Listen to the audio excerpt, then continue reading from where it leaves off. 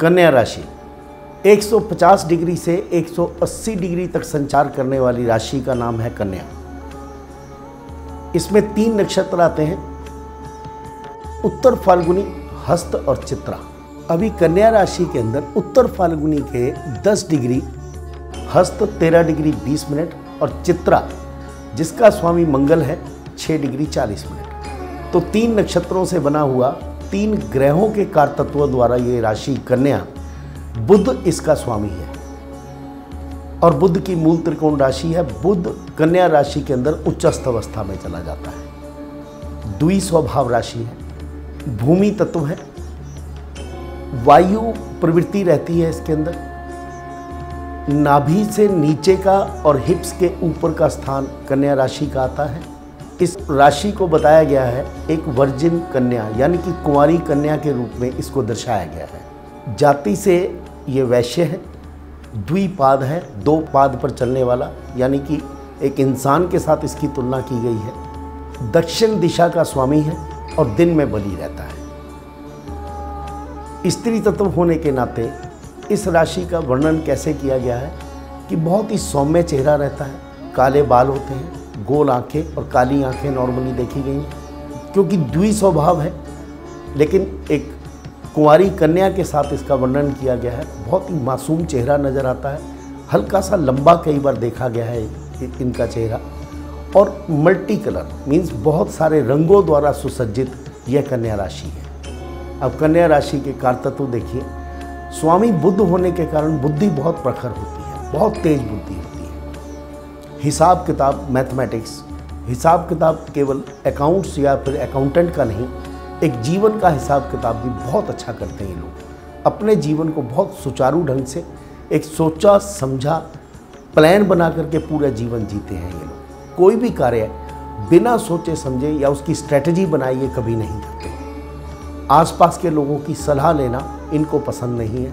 इनके पास खुद ही इतना दिमाग होता है कि ये किसी दूसरे को सलाह देते समय तो बहुत अच्छा महसूस करेंगे, लेकिन लेते समय महसूस नहीं करेंगे। अब इसके अंदर क्योंकि सूर्य का तत्व भी आया तो बहुत अच्छे चार्टर्ड अकाउंटेंट या बहुत अच्छी पोजीशन पर किसी हिसाब किताब रखने वाले महकमों में भी काम करते हैं। और दूसरा जो चरण इसका आया, वो चंद्र का।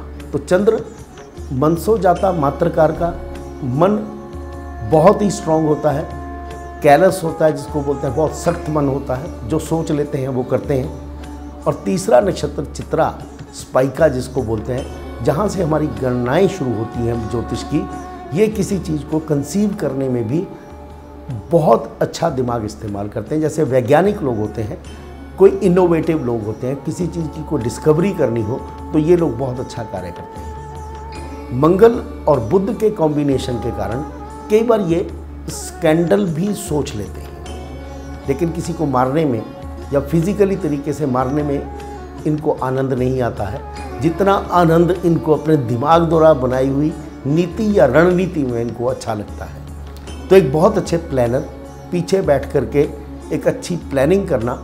जैसे अगर फ़िल्म की बात करूँ तो पीछे बैठकर जो लोग डायरेक्शन करते हैं, वो कन्या राशि वाले लोग होते हैं। दिन बली होने के कारण ये पूरा दिन बहुत मेहनत और लगन से कार्य करना पसंद करते हैं। एजाइल होते हैं, तेज चलना इनको अच्छा लगता है। जीवन के अंदर भी और अपने कार्य क्षेत्र के अंदर भी। बहुत लंबे समय तक इंतज़ार करना किन्हीं चीज़ों का, इनके बस का नहीं होता।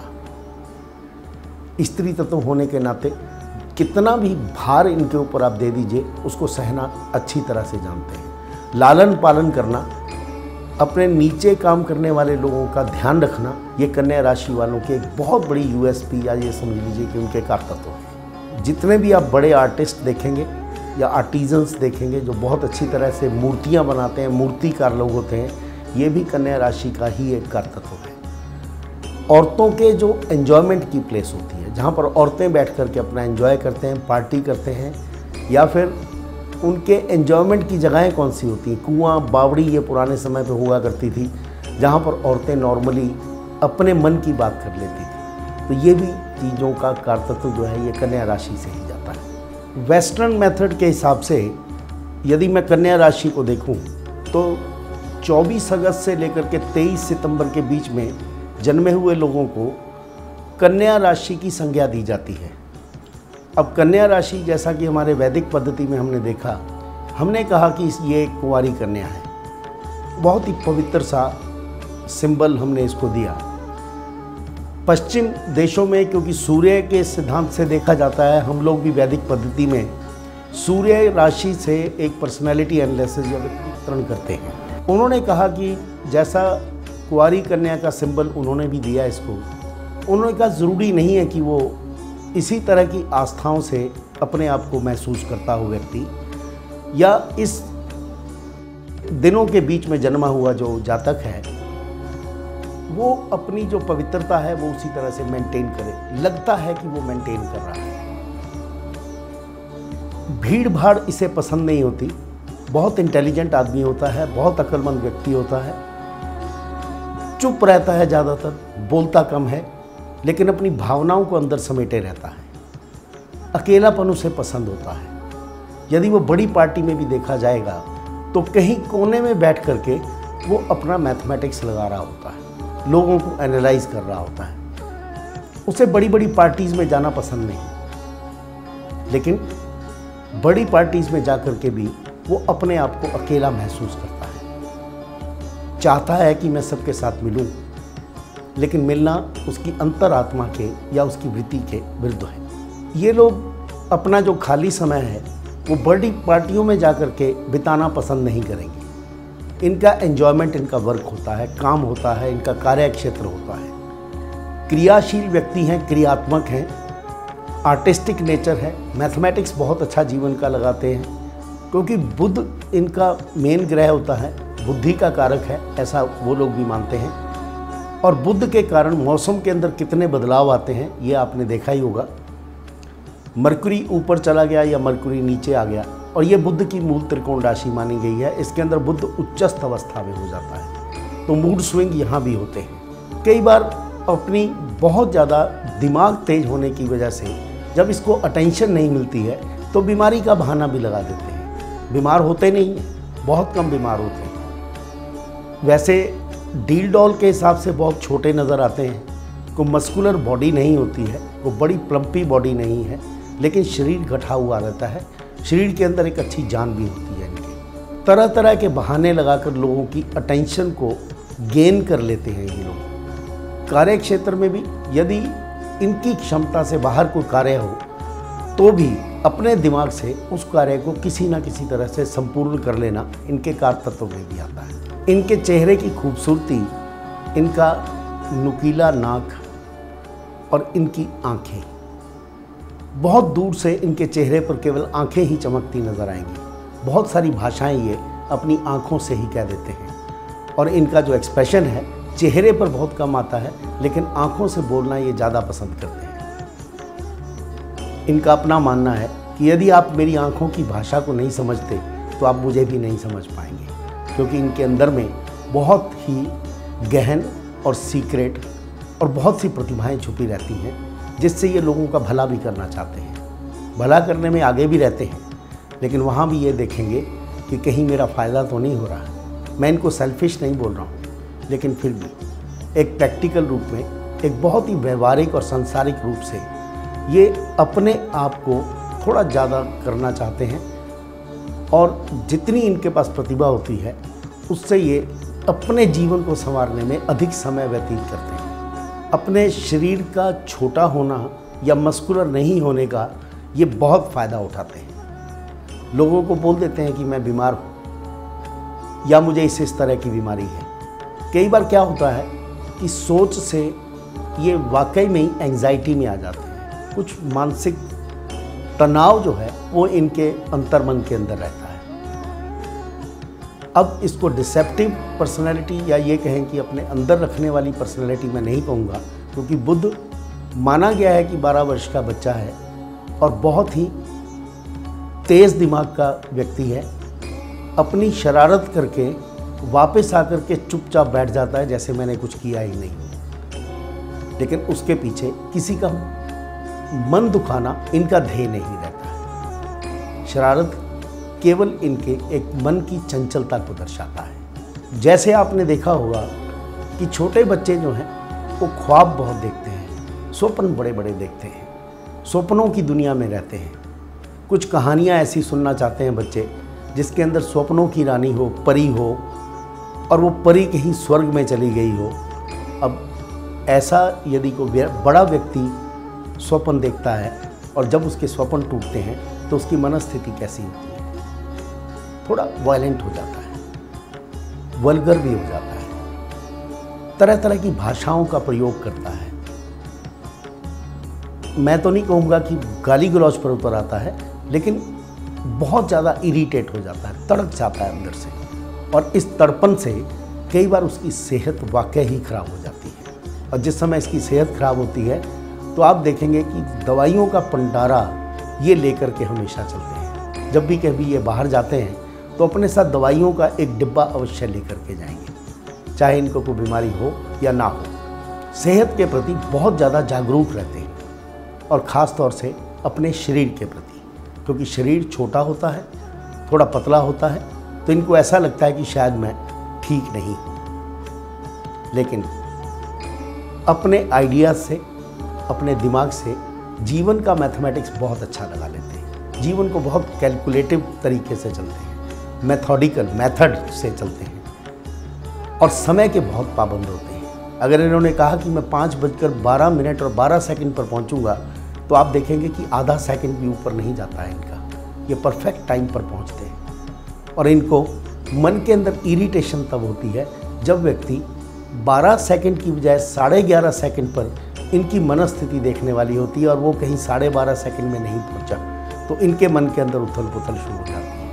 जैसा ये परफेक्ट होते हैं, वैसे ही अपने आसपास के लोगों को भी परफेक्ट देखना चाहते हैं। कन्या राशि वाले जब शॉपिंग करने जाते हैं तो बहुत छोटी छोटी वस्तुएँ खरीदते हैं। और अगर कहीं सस्ती वस्तु मिल गई तो उसको कहेंगे कि ज़्यादा खरीद करके अपने पास रख और कहीं से कुछ सस्ता ऐसा सामान, साबुन, तेल टूथब्रश भी मिलेगा तो भी दर्जन के हिसाब से खरीद करके रख लेते हैं, जबकि उसकी आवश्यकता नहीं होती। है ये सेंस ऑफ़ इनसिक्योरिटी मीन्स अपने जीवन के प्रति एक ऐसा देखना कि मैं अपने जीवन को बहुत सस्ते भाव में बिता लूँ, चाहे मुझे खाना पेट भर जाए, चाहे खाना स्वादिष्ट हो या ना हो। इस तरह की मनोवृत्ति इनके मन के अंदर रहती है।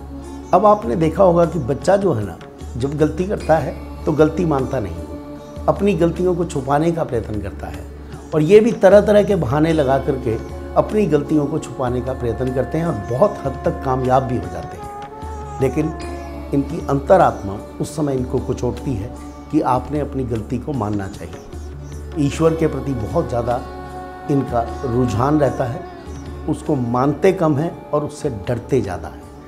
तो रिलीजियस, धार्मिक जो इनकी आस्थाएँ हैं, बहुत डीप रूटेड होती हैं, बहुत अंदर तक, जड़ों तक पहुँची हुई होती हैं। इस वजह से समाज के अंदर इनका आदर होता है, सम्मान होता है। समाज के अंदर जागरूकता पैदा करना, समाज की कुरीतियों को दूर करना, ये अपने जीवन का ध्येय भी समझते हैं। रास्ते चलते हुए किसी भिखारी को पैसा नहीं देंगे। इसका तात्पर्य ये नहीं कि ये कंजूस होते हैं। अगर किसी दोस्त को आवश्यकता पड़े तो शायद अपने कपड़े भी उतार कर बेच के ये उसका कार्य सिद्ध होने में ये अपना समर्पण कर देते हैं। लेकिन खुद बहुत कार्य करते हैं, सुबह से शाम तक मेहनत करना जानते हैं और केवल कार्य ही इनका जीवन का ध्येय रहता है। जैसे अंग्रेज़ी में बोला जाता है, ये लोग वर्कॉलिक होते हैं। यदि इनको खाली बिठा दिया जाए तो मानसिक रोग से पीड़ित हो जाएँगे। इनके लिए कार्य करना 24 घंटे बहुत आवश्यक है। कई बार इंसोमेनिया, यानी कि नींद ना आने की बीमारी भी इनको हो जाती है क्योंकि सोते समय भी इनका दिमाग इनके कार्य क्षेत्र की तरफ़ चलता रहता है। कन्या राशि वाले पुरुष बहुत अच्छा रोमांस करना जानते हैं। यदि किसी कन्या की तारीफ़ करेंगे तो कन्या इनके आसपास आपको घूमती नज़र आएगी। लेकिन बहुत कम लोगों की तारीफ़ ये करते हैं। इनको तारीफ़ सुनना ज़्यादा पसंद है। ज़्यादा बोलना पसंद नहीं है, लेकिन सुनना बहुत पसंद है। They are very good listeners उसी तरह से ये जीवन साथी, ऐसे जीवन साथी की तलाश करता है कन्या राशि वाला पुरुष, जो केवल इसको सुनाए और इसकी सुने तो बहुत कम है। लेकिन दूसरे को सुनना ज़्यादा पसंद करते हैं, इसीलिए इनका वैवाहिक जीवन बहुत सक्सेसफुल रहता है। खाने का शौक़ नहीं है, लेकिन पेट भरने का शौक़ रहता है। तो इस वजह से इनकी पत्नी को बहुत ज़्यादा तकलीफ़ नहीं होती है कि वो कहीं चूज़ी खाने के लिए होगा। बच्चे इनको पसंद हैं, लेकिन बहुत कम संतति पसंद है। घर में एक बच्चा होना चाहिए, केवल ऐसा इनका ध्येय रहता है। कन्या राशि वाली महिलाएँ अपने घर को संवारना बहुत अच्छा जानती हैं, दिमाग से काम करती हैं। जैसा कि वर्जिन, यानी कि कुंवारी कन्या का रूप दिया गया है इस राशि को, उसी तरह की आस्था को मेंटेन करने के लिए ये हमेशा तत्पर रहती है। लेकिन बहुत मुश्किल से किसी पुरुष के संसर्ग में आती है। अपना जीवन साथी चुनने के लिए बहुत ज़्यादा चूजी होती हैं और अपना दोस्त, जो पुरुष दोस्त है उसको बनाने के लिए भी इनको बहुत ज़्यादा हिचकिचाहट होती है। स्त्रियों का संसर्ग बहुत अच्छा लगता है इनको। किटी पार्टीज़ में जाना और औरतों के साथ घूमना, शॉपिंग करना, ये इनका कप ऑफ़ टी है। जैसे पुरुष जो कन्या राशि वाले हैं, उनको कम बच्चे पसंद हैं, लेकिन कन्या राशि वाली महिलाओं को बहुत सारे बच्चे चाहिए और आसपास उनके बच्चे हों तो उनका मन प्रसन्न हो जाता है। कन्या राशि वाले जो बॉस हैं, बहुत ही सक्सेसफुल बॉस होते हैं। बोलते कम हैं, डांटते नहीं हैं, गाली गलौच नहीं करते हैं। प्यार, मोहब्बत से काम लेना एक उनका ध्येय रहता है। क्योंकि काम के खुद मास्टर होते हैं, इसलिए उनके एम्प्लॉय उनसे बहुत खुश रहते हैं। और शिक्षा देना, ये उनका परम कर्तव्य रहता है। सिखाने में आनंद आता है। लेकिन कन्या राशि वाला एम्प्लॉय जो है, बहुत सेंसिटिव होता है। डांट सुनना पसंद नहीं है।